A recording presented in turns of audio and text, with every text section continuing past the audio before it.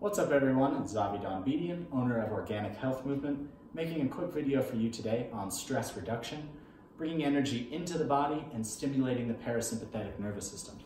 So as a general cue to the way that I work out and I live my life, I try to balance the amount of time that I spend secreting catabolic stress hormones in the body, those being tissue destructive, with anabolic hormone stimulation, which is created through work in exercises. Um, that could be Tai Chi, Qigong, Hatha Yoga, not so much the fast-flowing Vinyasa Yoga.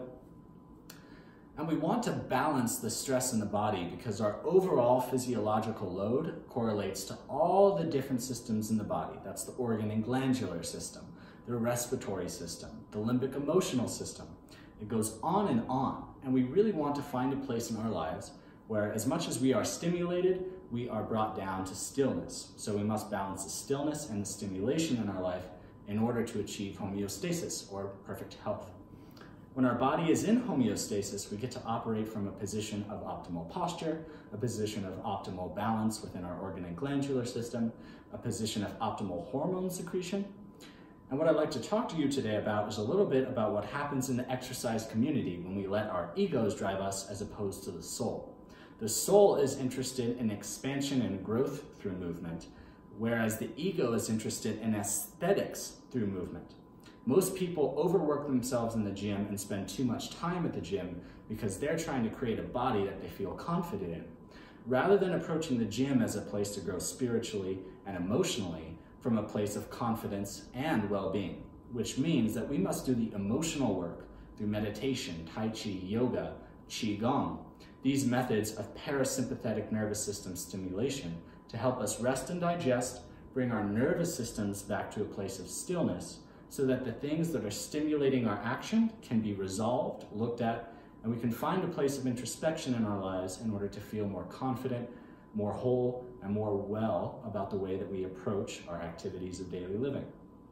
That means if you're going to the gym because you feel inside that your body is disgusting, unworthy of your love, and you feel like you need to change it in order to feel self-loving, then you are going to secrete more stress in your emotional system and your physical system than is actually productive towards your goal.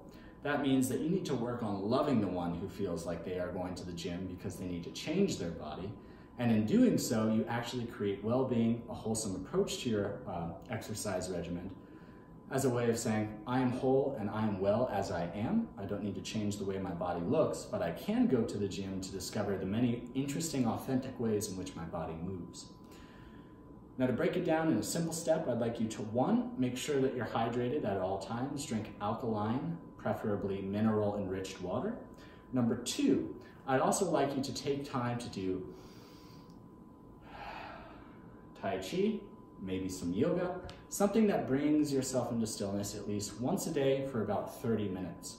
And number three, I want you to make sure that the amount of time that you're spending in the gym is balanced with the amount of time that you're taking for yourself. So whether that's a massage, whether that's a float, whether or not that's some sort of therapy that is uh, relaxing and brings you to a place of breath, it doesn't matter, but I just want you to balance your time in the gym with doing things that are good and restorative for the body.